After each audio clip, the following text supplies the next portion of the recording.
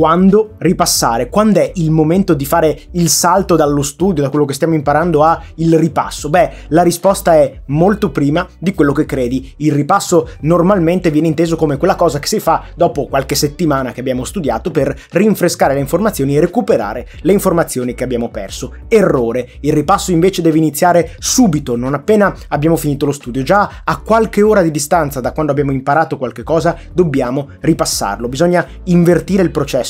L'idea non è quella di recuperare le informazioni che abbiamo perso, ma è quello di non perderle in primo luogo. E quindi il ripasso inizia immediatamente. Cominciamo subito a mettere il ripasso all'interno della nostra scaletta e a portarlo avanti man mano che lo studio procede, così che quando arriveremo alla verifica, all'esame, a quello che è, avremo sempre le informazioni fresche, pronte e saremo preparati il potere supremo del quiz. Il quiz, domanda e risposta, è uno degli strumenti più potenti, versatili e utili nel mondo dello studio. Perché? Beh, perché fare una domanda, andare a recuperare la risposta all'interno della nostra mente, è un metodo molto più efficace di consolidare quello che abbiamo imparato rispetto alla semplice rilettura, il rileggere il libro, rileggere gli appunti, eh, riassunto, quello che è. Perché eh, ci costringe a fare uno sforzo, è proprio questo sforzo che è alla base di quel concetto che viene chiamato retrieval effect ovvero l'effetto del recupero, ed è uno dei modi migliori per ricordarsi a lungo termine le informazioni e allo stesso tempo ci prepariamo anche per poi la verifica, l'interrogazione, l'esame, quello che è perché uh, usiamo già mh, mm, il metodo dell'interrogazione con noi stessi, insomma, per affilare la nostra preparazione. Quindi domanda e risposta, quiz, sempre e comunque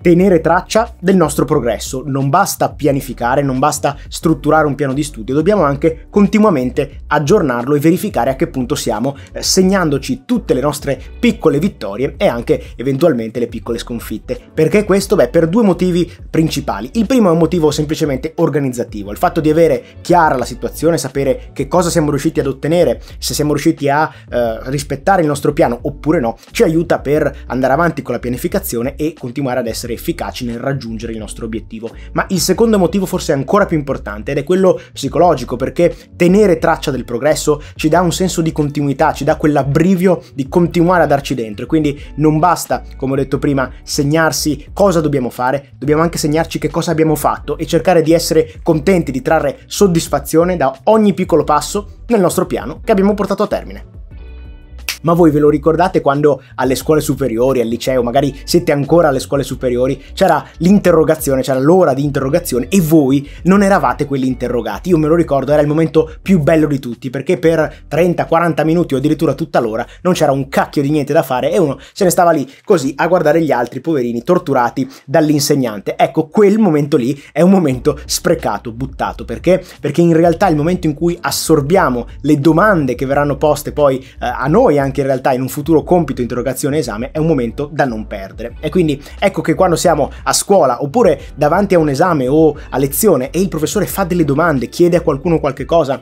oppure segnala un tema importante, dobbiamo assolutamente segnarcelo perché 9 volte su 10 quel tema ritornerà nella nostra interrogazione, nel nostro esame, nel nostro compito in classe, in qualunque scadenza. Quindi segnatevi le domande e anticipate quello che sarà poi il vero momento della verifica. Studiare è selezionare, individuare, scremare. Bisogna effettuare delle scelte quando si studia perché non si può pensare, non si può partire dal presupposto che sia tutto ugualmente importante, sia tutto fondamentale. Invece dobbiamo riuscire a capire nel testo, in quello che stiamo leggendo, in quello che stiamo studiando, nei nostri appunti anche, o quello che eh, appunto dice il professore, che cosa è centrale, che cosa devo assolutamente segnarmi per assorbirlo, che cosa invece posso dare per scontato perché magari me lo ricordo da esami precedenti, o che cosa invece posso semplicemente relegare al mio ragionamento. Ci sono tutta una serie di informazioni quando si studia qualche cosa che non serve imparare, ma basta comprendere perché ci si arriva tramite ragionamento in maniera semplice, quindi sprecare tempo ad imparare cose che dovremmo dare per scontate, dovremmo scartare, è uno dei difetti principali di chi non sa studiare. Seleziona, individua, screma, decidi. Se dovessi usare un termine, una parola, un sostantivo per descrivere la caratteristica più importante dello studente che vuole migliorarsi, che vuole diventare migliore nel metodo di studio, nel proprio voto, nella propria situazione in generale, sarebbe costanza. Costanza perché lo studio è qualcosa che va portato avanti per molto tempo e noi siamo uh, seppelliti di metodologie, proposte, cose eh, che ci uh, incoraggiano, ci spingono a studiare in fretta, a studiare velocemente, a cercare la scorciatoia, la soluzione facile, eccetera. E invece costanza, tutti i giorni mettersi lì, uh, cercare di dare il meglio, cercare di sfruttare al meglio le proprie capacità, di migliorare le proprie tecniche. Costanza per non finire a cominciare un percorso e poi crollare a metà.